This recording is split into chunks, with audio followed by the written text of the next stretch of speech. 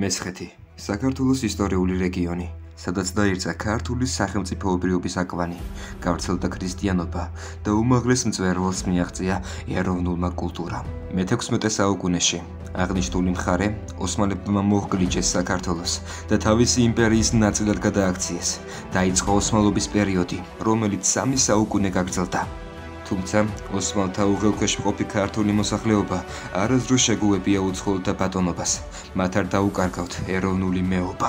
ისტორიიდან კარგადაა ცნობილი, რომ ოსმალებმა მიუხედავად თავიანთი რელიგიის გავრცელებისა, ხალხის გათურქებას მაინც ვერ მიაღწიეს.